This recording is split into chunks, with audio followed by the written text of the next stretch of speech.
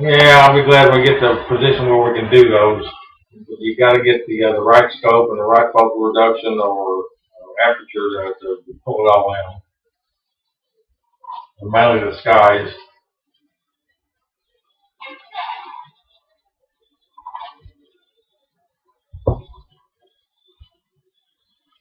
Let me stack a couple frames here and see if it smooths the, uh, the background noise out. We'll pick back up here in just a second.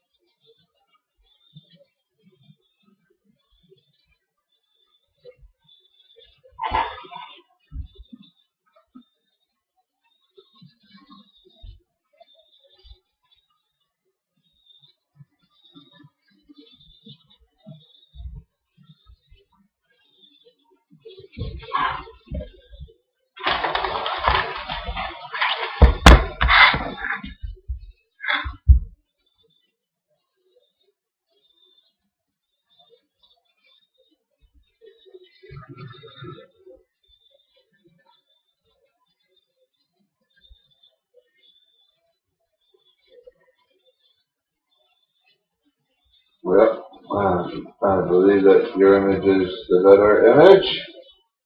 Yeah, new guy. His, uh, the first time we, I think he used the extreme device. It's always.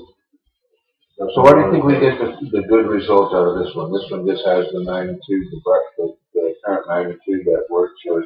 Yeah. We what are we're dealing with. from these guys.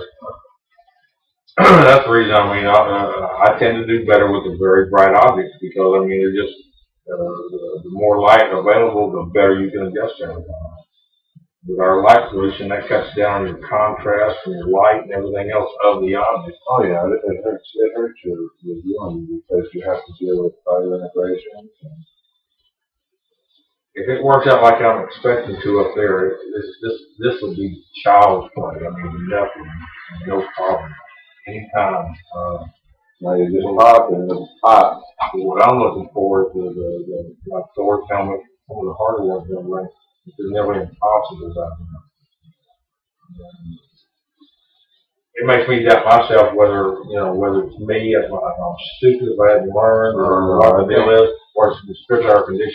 I think it's conditions considering how well your, the, the equipment's working with you and you're working with the equipment. If I can get that, why can't I get something that's harder, uh, the same routine on all the objects? It just, it just, it's missing the current magnitude that we need.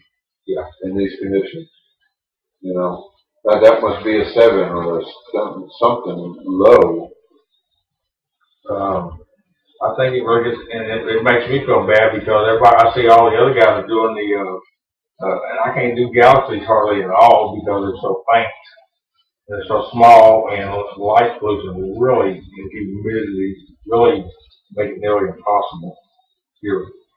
And I've been doing it long enough, I should be doing galaxies, but I, I've tried, I've tried a million times. Just don't have any luck with it. No, I tell you what, that, the, the setup is running like a top, say Clockwork. Yeah, I mean, it's, Precision, you see how close everything is. yeah. Precision timepiece. what way we can use that. I mean, you can put any kind of coordinates you want to in the system manually and go right to it and feel pretty good about it. It's in that field review right there. Well, at least it, it goes to show that, uh, your future builds can have the same result with, with the same consideration given this, this equipment, equipment. And the, the, the, the whole factor is, I mean, what's the better sky conditions going to be? You're gonna be able to go hunting for things and Yes. seeing comments, taking Yeah. pictures of those things that really interest you. What I'm thinking about it is, you know, I know how you used to say, why don't you go to these coordinates you can punch them in there, but it's not guaranteed your scope is gonna go there. So you're guessing at where's it at, it off, is it in the field view? So as it is, if the equipment is the same up there, as good as the skies are, you can dial in any numbers you want from here and, and know it's gonna be in that field somewhere. Or in your DSLR. That, that dependability, you know, if that is basically your viewing time. Being undependable, if if the equipment's undependable and you've gotta go and put your hands on it every time you wanna go to a Buying market, something, that's right. that's your viewing time. That's what we were dealing with when, when we first started, the setup, the Everybody does. the tear down, the, the- that was viewing time going right out the window. I can be viewing, We'd be tired by the time we got set up. and then we gotta tear the shit down. And everybody goes through that, I understand that, but, uh, This is nice. It's gonna be nice up there too. I just hope I can make some kind of remote deal that you can dial in and, and, and do, uh, CCD work from up there. I'm gonna have to go out there. That's why, that's why I'm, I'm making this regular schedule. I wanna be coming over once a week, whether, whether I get a little, whether I get resistance or not. I'm just gonna make it happen, put the time in. I will have a camera on your face the first time if you walk outside this dark and you see the, uh, Milky Way from end to end. Right. Seeing how many fucking, it is so many stars out there. You go, where is anything at? You don't know where anything is. There's so many fucking stars out there. It's gonna be awesome. I mean, every time I go up there at nighttime when it's that clear, my mouth hits the ground. I don't know where nothing. You haven't brought a scope out there yet. I brought a little, uh, Oh, I brought did? the little 80 millimeter, but uh, man, shit is so small visually. Right, right, right. You need to get, you need your equipment, you need your setup. You You need, need the mount cam because I mean, uh, chicken shit little mount. I mean, I'm down on the ground and the cactus is sticking to my. I mean, it's dark. and Holy shit! You, you can't. It's like this. You can't see that from I'm telling you. But I've been in darkness like that. You don't get into darkness like that all the time. I, I walked down the street one time, could not see your hand in front of your face, and it's like literally you lose perception about which way you're going. uh, I did, and But in your case, you have the skies to show you which way which way's up. hey, G man, how are you, sir? Thanks for coming tonight, Norm. Hey, G-Man. We really appreciate everybody taking time to watch with us. Sorry, Norm, missed your post, sir. Yeah, good night, and uh, thank you very much for joining us, Norm. Right now, we're enjoying this uh, Swan Nebula, one of our one of our better images of the night. Has enough magnitude to really shine in the telescope. I'm just pleased to, to be able to get some kind of object on a crummy weather night because uh, I really wasn't. I knew uh, this was available and everything, but uh, I wasn't sure what the, the sound was going to do to us. So I'm just happy we got some kind of decent image up tonight.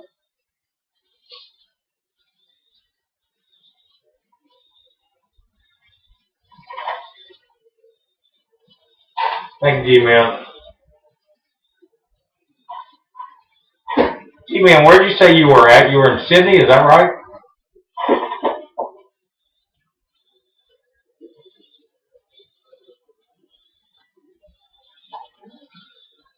How's y'all's weather? Y'all start turning the corner as far as the heat, or it's still pretty warm for you guys?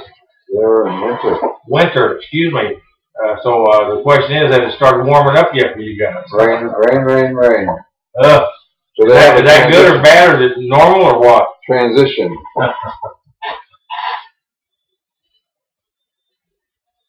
We can't both be in summer.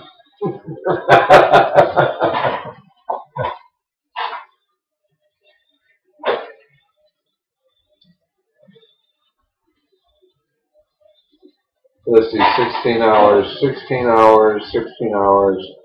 That's eleven forty, eleven, uh, thirty-four AM.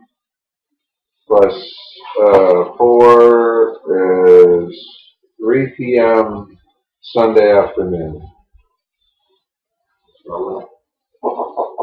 Three PM Sunday afternoon. Hungy man?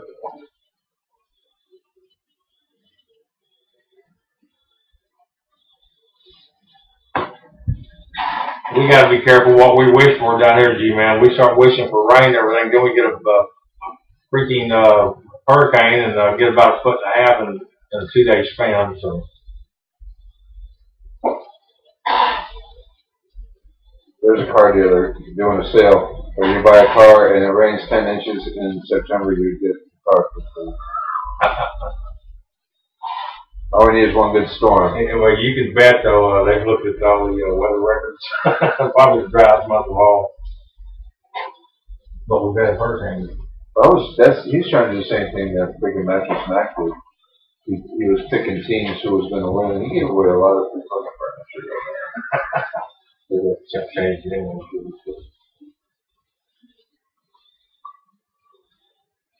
Oh, oh, excuse me. Mike's done for the night, he got the alignments working and a couple of good images. Good.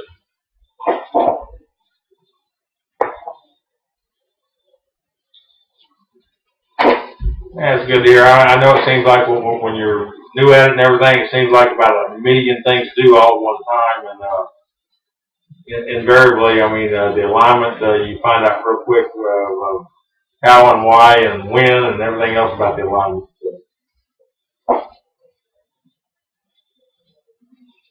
Uh, was that his first night, uh, with the, uh, entire package or just the extreme or what, uh?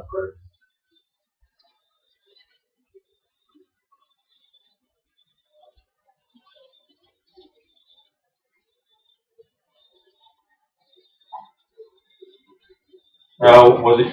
excuse me, was he generally pleased with it or?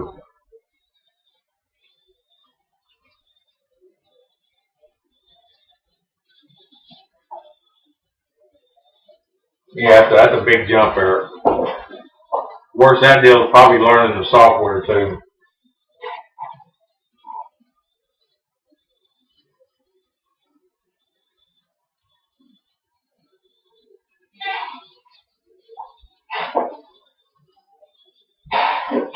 Hope he had his recorder on or he's a fast note taker.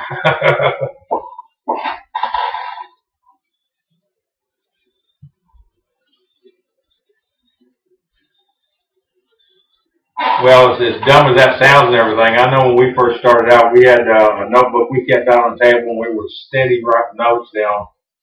Because when, when you're in the heat of battle and everything, you don't remember all those fine little points you need to remember for the next uh, broadcast. And after a while, you do it a few million times, you, you kind of get used to it and, and, and remember those things you need to. So.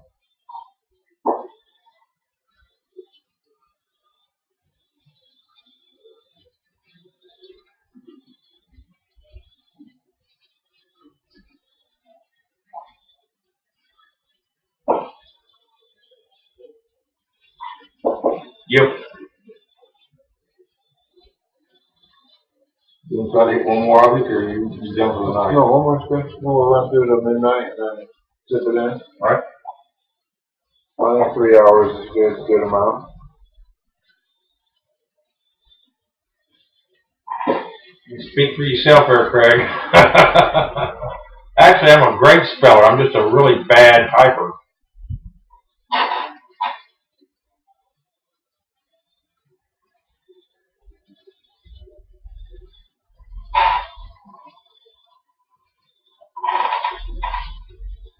But I caught your drift anyway.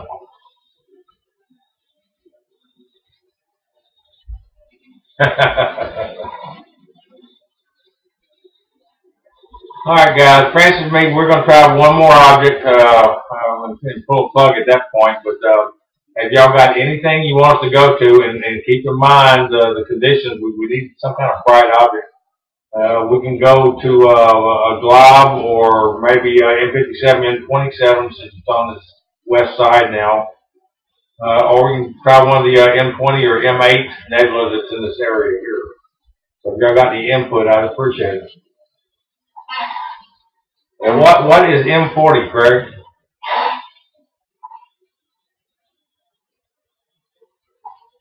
Both sides. Uh, NGC 40.